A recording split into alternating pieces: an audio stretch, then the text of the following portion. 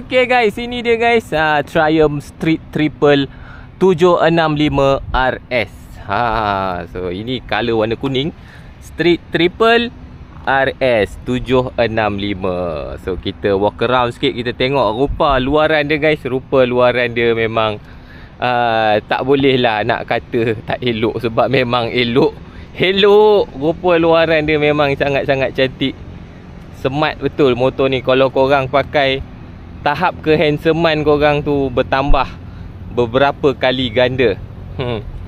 So seperti kebiasaan Triumph cukup terkenal dengan uh, dua biji mata dia ni Diorang panggil bug eyes So lampu dia ni depan belakang semua LED guys. Jom kita tengok. So seperti kebanyakan Triumph nak start engine dia Kena tarik clutch guys.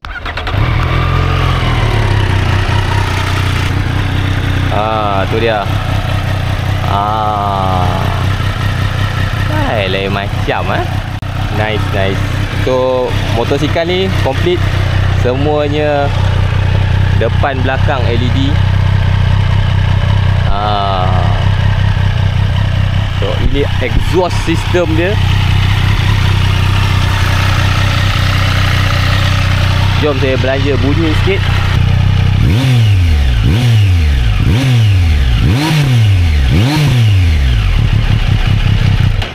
Okey, motosikal ni dikuasakan dengan enjin triple eh, 3 silinder 765cc.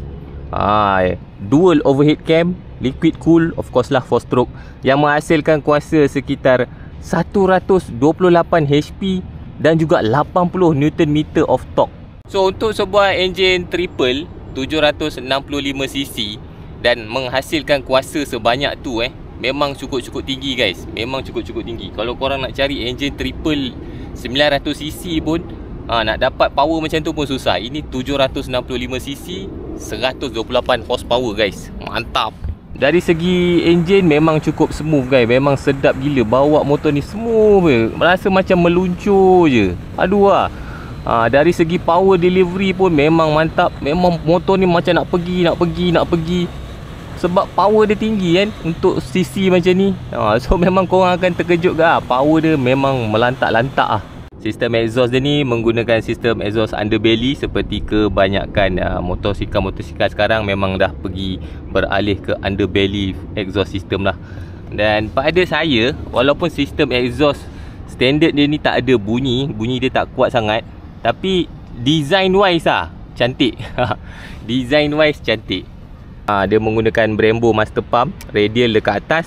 Lepas tu menggunakan uh, Brembo Stylema Caliper Juga radial dekat bawah Kiri kanan. Dan brake dia memang mantap guys. Saya dah test banyak motor yang ada Stylema kiri kanan ni. Uh, Dan ini antara yang terbaik lah. Kadang-kadang uh, ada motor dia pakai Stylema uh, Brembo Tapi brake dia not as good lah sebenarnya. Uh, Tapi ni memang best lah. Memang cengkam kau punya. Korang boleh rasa motor korang tu nak berhenti nak terjungkit. Ha. Ini belakang menggunakan kaliper Brembo juga. Sistem suspension hadapan dia menggunakan USD fork ha, 41mm daripada Showa Big piston fork dan fully adjustable suspension ya guys. Korang boleh adjust preload, uh, rebound dan juga compression.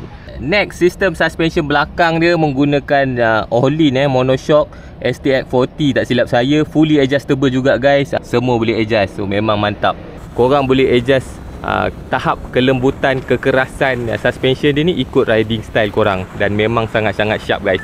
Once korang dah dapat setup korang memang best gila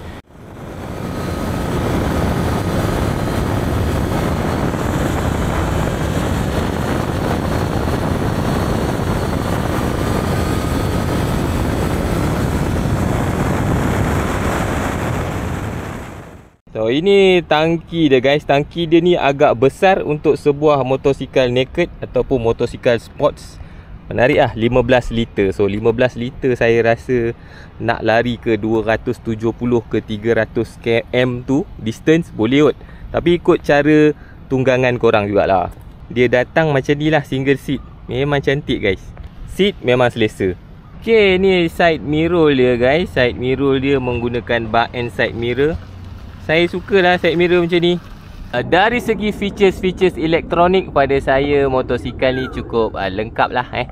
Kita ada quick shifter system ni dan juga auto blipper di mana korang boleh uh, naik gear tanpa menggunakan clutch, turun gear pun tanpa menggunakan clutch kita ada traction control system. So traction control ni pada saya pun satu benda yang sangat penting ha, dengan keadaan cuaca kat Malaysia yang tak menentu ni kan.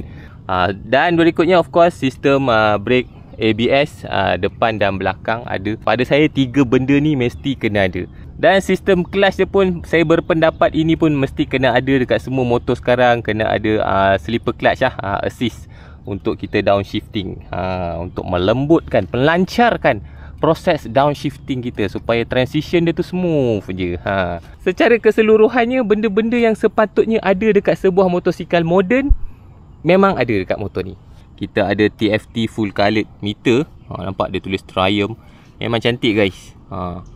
Ini kalau korang tengok yang Tiger 900 punya memang lagi best. Saya rasa ni version kecil lah daripada Tiger 900 tu. Ha, segala informasi berkenaan motosikal ni korang boleh tengok dekat sini lah. Dan selain daripada tu, kita boleh set up ha, riding mode, bike setup. Ha, macam-macam lah korang boleh set up kat sini. Ha, nampak? Bike setup, trip setup. Ha. Okay, bercakap pasal uh, riding modes eh. Riding modes dia ada 5 riding modes guys. Kita ada uh, rider. Rider ni kita sendiri set up lah. Kita nak traction control berapa, power berapa, ABS berapa. Dan kemudian kita ada ni preset dia kita ada rain, hujan, road, sport dan juga track.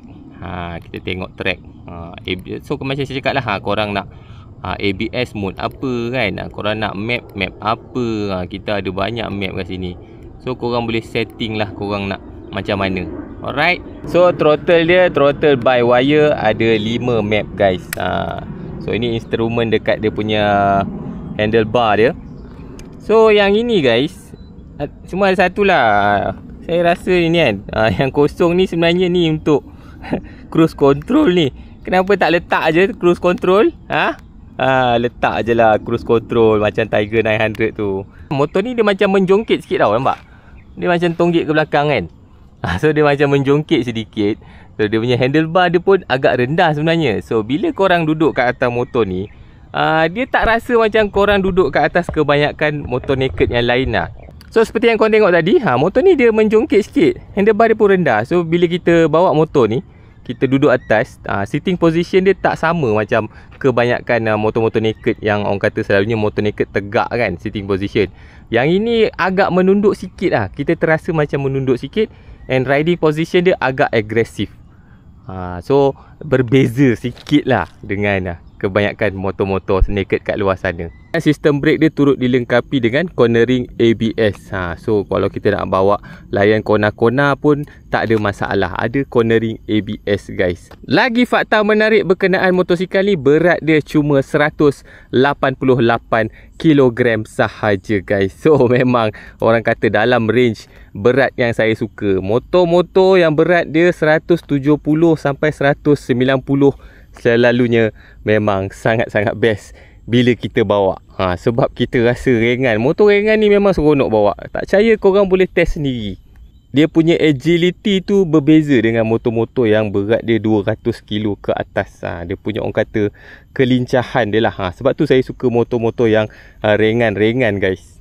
Okay guys, sampai sini saja video saya kali ni. Diharap korang ha, dapat sedikit sebanyak informasi berkenaan uh, Street Triple 765 RS pada saya dari segi performance engine memang mantap. Saya suka sangat smooth power.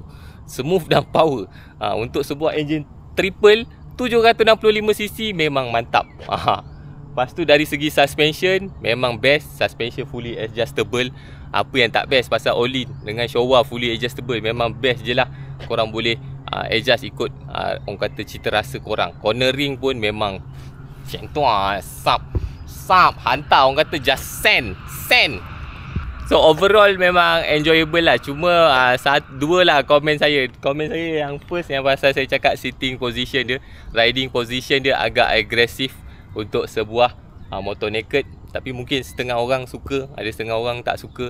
Uh, Dan yang keduanya Saya rasa bab angin tu lah. Saya rasa kan ini pendapat peribadi saya lah Untuk street triple uh, 765 yang biasa tu Yang standard punya uh, Saya rasa boleh lah kot dia Orang kata jual macam ni package kan.